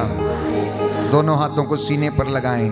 प्रज्ञा ग्रंथ अध्याय 16 पद संख्या 12 प्रज्ञा ग्रंथ अध्याय 16 पद संख्या 12 प्रभु का वचन कहता है क्योंकि उसे किसी जड़ी बूटी के लेप से स्वास्थ्य लाभ नहीं हुआ। परंतु प्रभु तेरे शब्द ने उसे चंगा किया था। बल्कि प्रभु तेरे शब्द ने उसे चंगा किया था। इसलिए प्रवक्ता कह रहा है, अध्याय अड़तीस, पद संख्या नौ, पुत्र, अपनी बीमारी में लापरवाह मत बनो। पुत्र, पुत्री, अपनी बीमारी में लापरवाह मत बनो। प्रभु से प्रार्थना करो और वह तुम्हें स्वास्थ्य प्रदान करेगा। प्रभु से प्रार्थना करो और वह तुम्हें स्वास्थ्य प्रदान करेगा। आप में से जितनों को भी सर्वाइकल के रोग हैं फ्रोजन शोल्डर के रोग हैं साइटिका की बीमारी है, ऐसी शारीरिक बीमारियाँ लाइलाज बीमारियाँ शुगर जैसी लाइलाज बीमारी, यीशु के नाम पर अभी और इसी वक्त आपको छोड़े और क्रूस के नीचे जल के राख हो जाए। बोले आमेन। हालेलुया। हालेलुया। प्यारे भाई, प्यारी बहन, ये शाय नबी का ग्रंथ, अध्याय तिरपन, पद संख्या चार से पाँच में लिखा है, परंतु वह हमारे रोगों को अपने ऊपर लेता था। परंतु वह हमारे रोगों को अपने ऊपर लेता था। वह हमारे दुखों से लदा हुआ था। उसके द्वारा हमें शांति मिली। उसके घावों के द्वारा हम भले चंगे हो गए, बोले आमेन आमेन। आमेन। मैं विश्वास करता हूँ हे। प्रभु यीशु हे प्रभु आपके घावों के द्वारा आपके घावों मैं भला चंगा हो गया हूँ। मैं भला चंगा हो मैं भला चंगा हो गया हूँ। भला चंगा हो मैं भला चंगा हो गया हूँ। भला चंगा हो गया। हालेलुया। हालेलुया। हालेलुया। प्रभु कह रहे अब मैं उन्हें स्वस्थ कर दूँगा। अब मैं उन्हें चंगा कर दूँगा। यिर्मयाह नबी का ग्रंथ अध्याय 33 पद संख्या 6 और उससे आगे। प्रभु का वचन कहता है, लेकिन अब मैं उन्हें चंगा कर दूँगा। मैं लोगों को चंगा करूँगा, उन्हें प्रचुर शांति और सुरक्षा प्रदान करूँगा। मैं उन्हें प्रचुर शांति और सुरक्षा प्रदान करूँगा।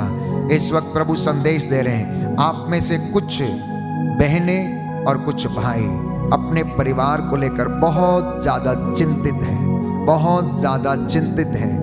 चिंता की दुष्ट आत्मा उन्हें घेरे हुए है, इसलिए प्रार्थना में मन नहीं लगता, विश्वास करने में असमर्थ हैं, इसलिए प्यारे भाई, प्यारी बहन, प्रभु कह रहे हैं, चिंता छोड़ो मैं तुम्हारा ईश्वर हूँ, मैं तुम्हारी सहायता करता हूँ। डरो मैं संसार के अंत तक मैं सदा तुम्हारे साथ हूँ। मैं तुम्हारे लिए युद्ध लड़ूँगा, मैं तुम्हारे आगे आगे चलूँगा, मैं अपने दूतों को आदेश दूँगा कि वे तुम्हारी रक्षा करें और तुम्हारे घर में डेरा डालें। बोले, amen. Hallelujah. Hallelujah. Hallelujah. Hallelujah. Hallelujah. Matti के सुसमाचार अध्याय 6 पद संख्या 33 और उससे आगे। ये वचन आपके लिए है। प्रभु कह रहे हैं, तुम सबसे पहले ईश्वर और उसके राज्य और उसकी धार्मिकता की खोज करना। बाकी की चीज़ें आपको यूँ ही मिल जाएँगी। बोलिए, आमेन। हालेलुया। हे प्रभु यीशु, मैं ईश्वर के राज्य और उसकी धार्मिकता की खोज करूँगा। Hallelujah hallelujah. आप में से बहुत से लोग उदास हैं अपनी ज़िंदगी को लेकर, अपने प्रोफेशन को लेकर, अपनी नौकरी को लेकर। शायद पैसा कम है इसलिए उदासी के शिकार हुए पड़े हैं डिप्रेशन में जा रहे हैं। प्रवक्ता ग्रंथ अध्याय 30 पद संख्या 22 उदासी के शिकार मत बनो और चिंता से अपने को तंग मत करो। प्रभु कह रहे उदासी के शिकार मत बनो चिंता से अपने को तंग मत करो। प्रभु पर भरोसा रखो, क्योंकि वही चिरस्थाई चट्टान है। बोलिए amen. Hallelujah. Hallelujah. Hallelujah. Yeshu की स्तुति हो। यीशु को धन्यवाद। यीशु की आराधना हो। यीशु की महिमा हो। यीशु को धन्यवाद। हे प्रभु यीशु, आप दयावान हैं। दया के सागर हैं। मैं आपका वचन स्वीकार करता हूँ। सारी चंगाइयाँ मेरे लिए हैं। हे प्रभु यीशु, मैं विश्वास करता हूँ, आपने अपने दास के द्वारा जो भी वचन दिया है, मेरी ज़िंदगी में वह पूरा हो गया है। आमेन। आमेन। आप में से कुछ हैं जो बहुत जल्दी परमेश्वर में उन्नति पाएँगे। आप में से कोई हैं जो ईश्वर की सेवा करने के लिए प्रभु उसे तैयार कर रहे हैं। इसलिए समर्पित करना समर्पित करना। आने वाले दिनों में प्रभु आपको अपना वचन सुनाने के लिए इस्तेमाल करेगा। बोलिए आमेन। आमेन। आमेन। आप में से एक या दो नौजवान हैं जिनको प्रभु इस्तेमाल करने जा रहा है। वचन को सुनाने के लिए प्रभु की आशीष आपके जीवन पर सदा बनी रहे, इसलिए आत्मिक उन्नति के लिए प्रभु से इस वक्त प्रार्थना करते जाना, आत्मिक उन्नति के लिए प्रार्थना करते जाना। आप में से कोई है संतान के वरदान के लिए प्रार्थना करने जा रहा है? अगले वर्ष प्यारे भाई, प्यारी बहन, प्रभु ने वादा किया है, आप जो रो रो कर संतान के लिए प्रार्थना कर रहे हैं, आपकी कोख में प्रभु उस बच्चे का वरदान देने जा रहा है। बोलिए, आमेन। आमेन। कुछ लोग हैं जिनके घर में चिंता है, चंगाई चाहते हैं, बीमार हैं रोगशैया पर हैं, अस्पताल में हैं, आपके प्रियजन, प्रभु आपको चाहता है कि आप उनके लिए प्रायश्चित करें, प्रार्थना करें, जिससे कि प्रभु उनकी रोगशैया को स्पर्श करे और चंगाई प्रदान करे। बोलिए, आमेन। हाले लुया हालेलुया। हालेलुया। प्रभु की महिमा के लिए हम गीत गाएँगे और इसी गीत के दौरान अभिषेक को हम महसूस करेंगे। गाते गाते ही आप चंगे हो जाएँगे। फ्रोजन शोल्डर प्यारे भाई, प्यारी बहन, आपके कूल्हे के जो जोड़ों में जो दर्द है, घुटनों में जो दर्द है, विश्वास करना प्रभु के लिए जब हम अपने आप को समर्पित करते हैं तो ये सारे दुख, रोग, बीमारियाँ जाती रहेंगी जाती रहेंगी। इस शरीर को प्रभु के लिए समर्पित करना।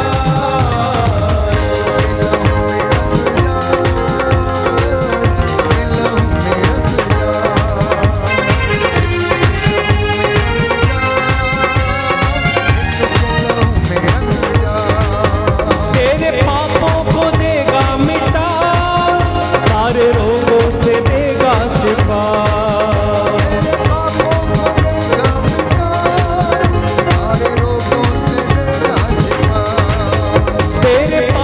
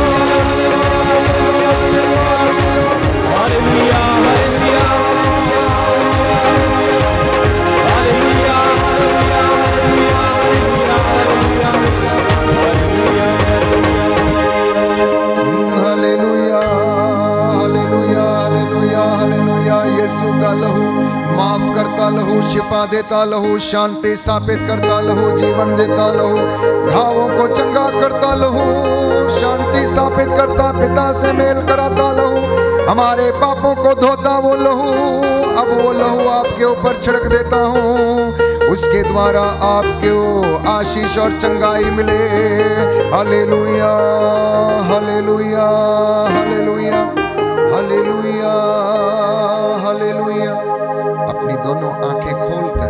खोलकर की ओर देखना, प्रभु की ओर देखना, प्यारे भाई, प्यारी बहन। वो यहाँ से आप सभी की ओर निहार रहा है।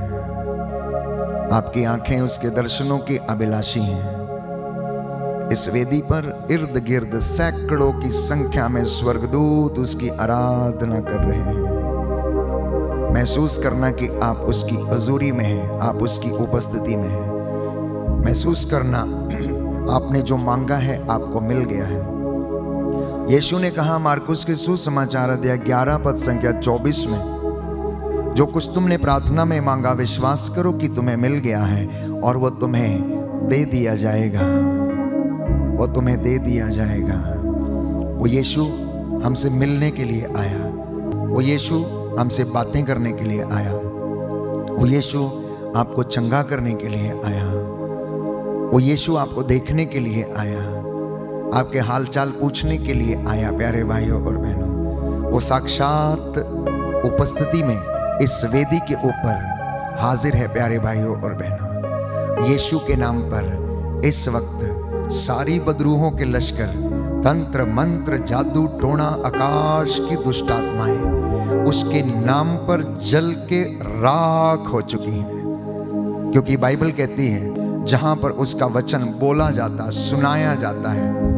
दुष्ट आत्माएँ सुनकर डरती और कांपती और चिल्लाती और निकल जाती हैं।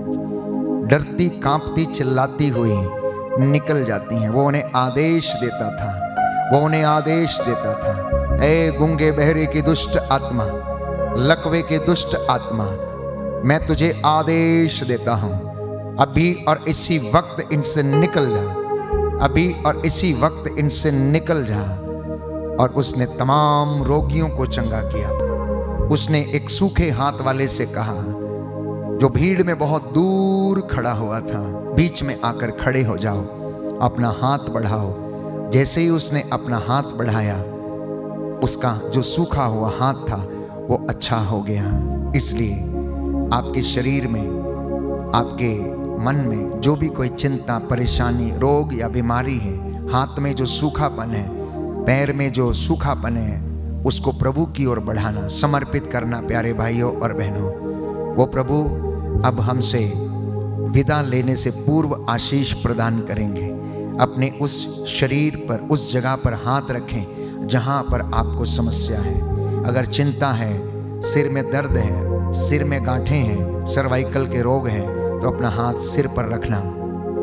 अगर आपको कमर के दर्द है, अपना हाथ वहाँ पर रखना। साइटिका से पीड़ित है, कूल्हे के दर्द से पीड़ित है, अपना हाथ रखिए। पेट की समस्याओं से पीड़ित है, अपना हाथ पेट पर रखना। विश्वास करना कि प्रभु आपको स्पर्श कर रहे हैं। विश्वास करना कि उसने आपको छुआ है। ठीक वैसे, जैसे उसने अंधे की आँखों को स्पर्श किया, ठीक वैसे जैसे विश्वास के साथ रक्त स्राव पीड़ित स्त्री ने उसका पल्ला भीड़ में से छू लिया और वो चंगी हो गई। ठीक वैसे जैसे यीशु ने बच्चों पर हाथ रखे, लोगों पर हाथ रखे और उन्हें स्वास्थ्य प्रदान किया। प्यारे भाई, प्यारी बहन, वो छू ले तो मिट्टी भी प्यारे भाइयों और बहनों सोना बन जाती है, याद रखना। अगर वो छू ले तो मिट्टी भी सोना बन जाती है। और उसके छूने से प्यारे भाइयों और बहनों, बहुत बड़े बड़े काम होते हैं, बहुत बड़े बड़े काम होते हैं, बहुत बड़े बड़े काम होते हैं। मुर्दे जिंदे हो उठते हैं, रोगी चंगे हो उठते हैं। कुबड़ी स्त्री को उसने चंगा किया, अर्धांग रोगी को उसने चंगा किया, जो 38 बरस से बीमार था। आप में से कुछ हैं बहुत लंबे समय से किसी न किसी बीमारी से पीड़ित हैं और ये बीमारी आपका पीछा नहीं छोड़ती, ये बीमारी आपका पीछा नहीं छोड़ती। अनेक अनेक इलाज करने के कारण भी आप उस बीमारी में पड़े हुए हैं। यीशु से कहना, यदि मैं आपका पल्ला छू लूँ तो मैं चंगी हो जाऊँगी।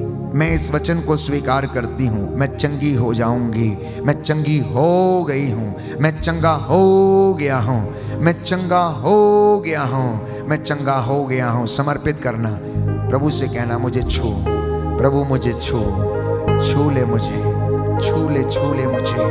प्रभु, मुझे छू।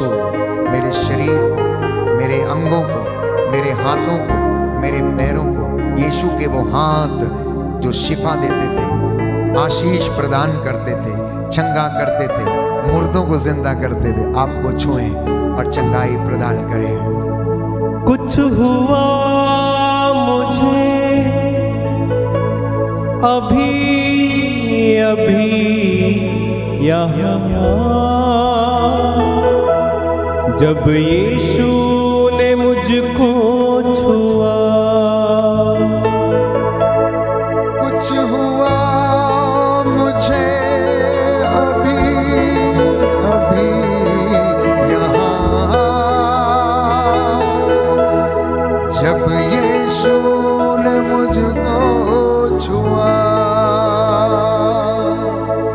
कुछ हुआ मुझे अभी अभी यहाँ।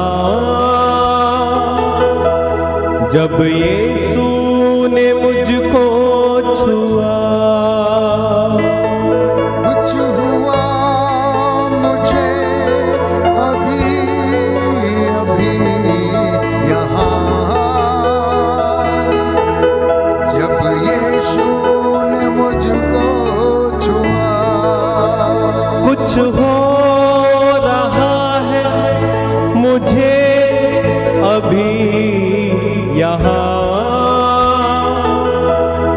यीशु मुझे छू रहा है। कुछ हो रहा है, मुझे अभी यहाँ। क्योंकि यीशु मुझे छू रहा है, कुछ हो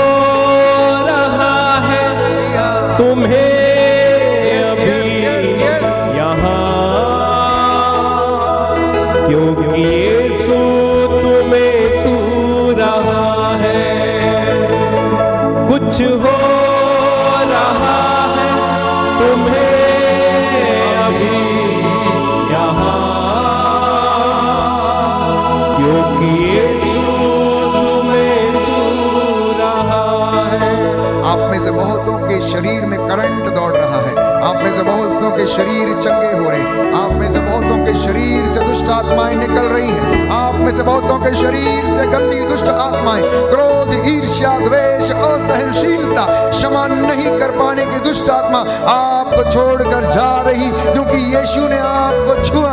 आप यीशु के हैं। आप में से कुछ एक हैं। जिन्हें प्रभु ज्ञान का वरदान दे रहा स्मरण शक्ति का वरदान दे रहा पढ़ाई लिखाई करने का वरदान दे रहा आपके शरीर में यूरिक एसिड की समस्या, एसिडिटी के रोग, गैस्ट्राइटिस की समस्या आपको छोड़कर जा रही है, जा रही है, जा रही है। यीशु के नाम पर। कुछ हो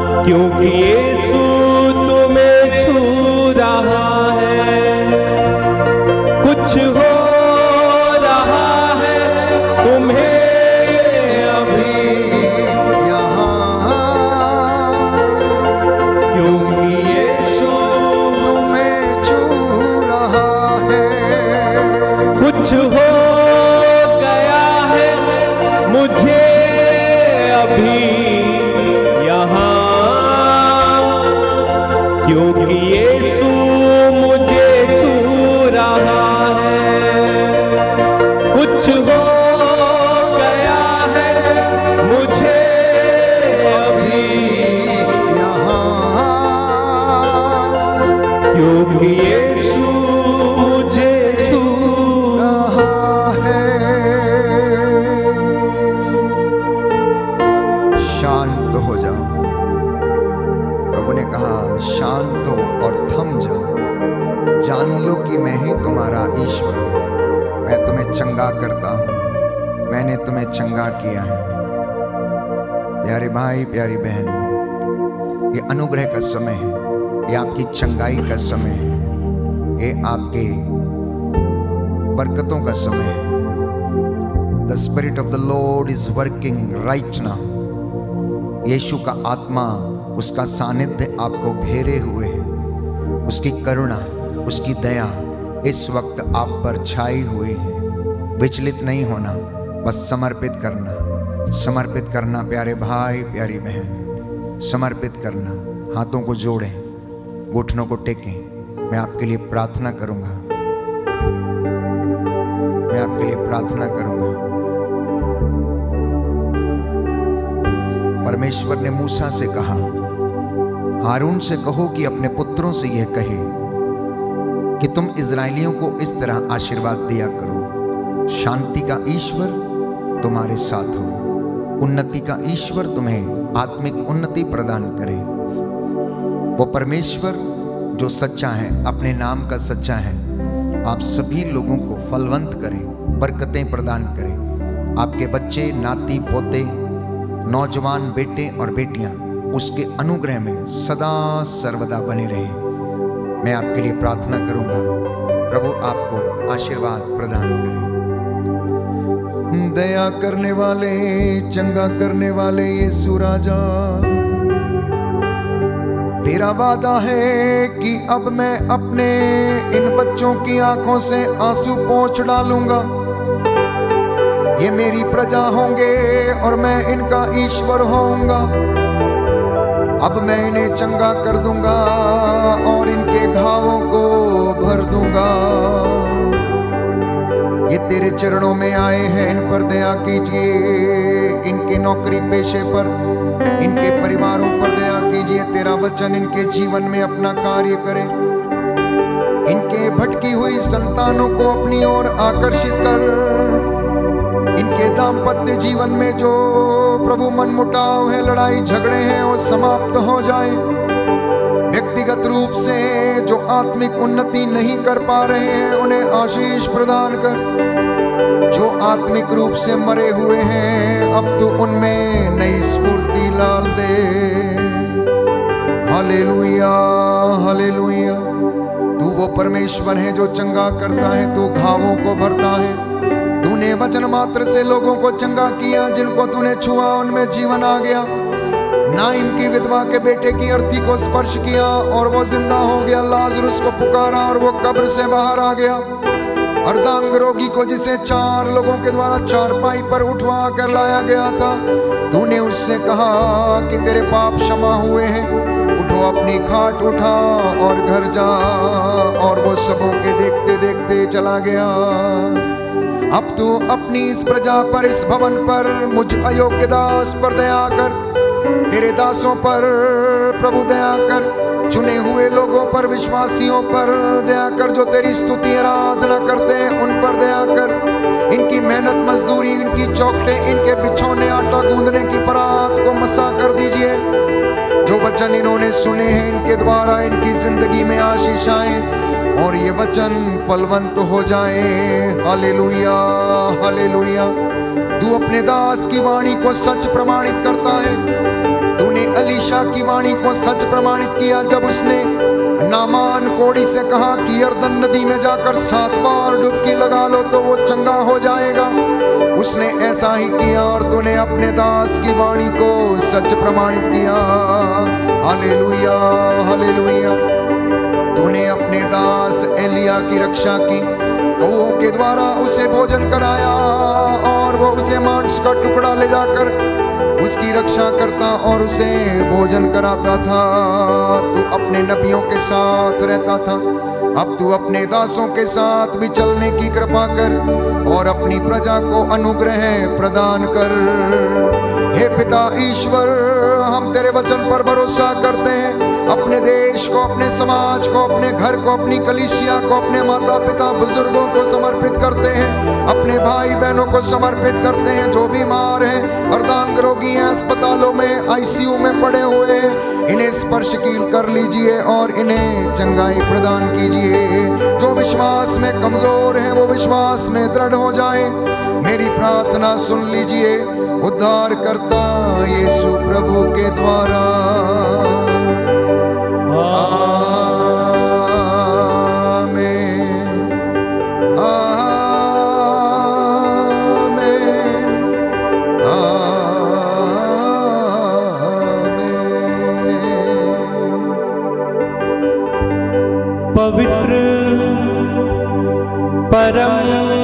प्रसाद की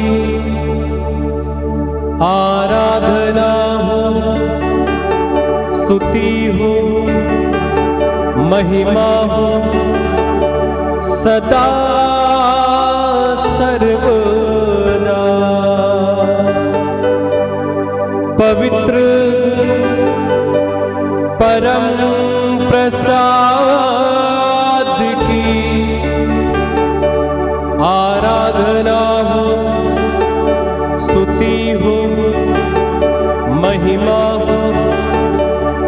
सदा सर्वदा। पवित्र परम प्रसाद की आराधना हो स्तुति हो महिमा हो सदा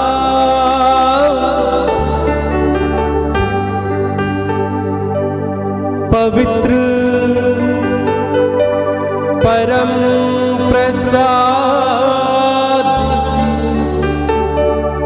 आराधना हो स्तुति हो महिमा हो।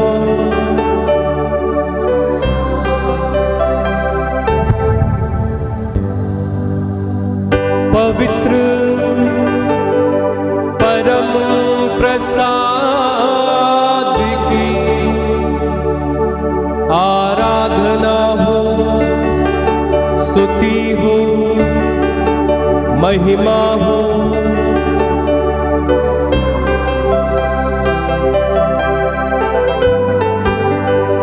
पवित्र परम प्रसाद की आराधना हो। स्तुति हो। महिमा हो। सदा सर्वदा सदा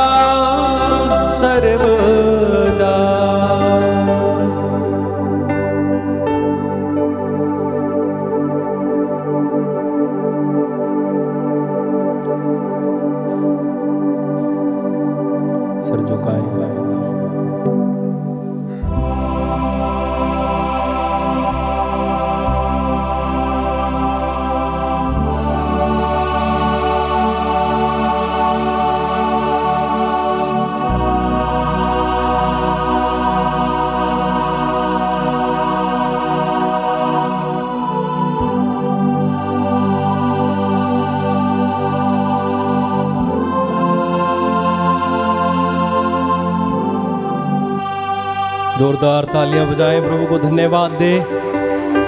जोरदार।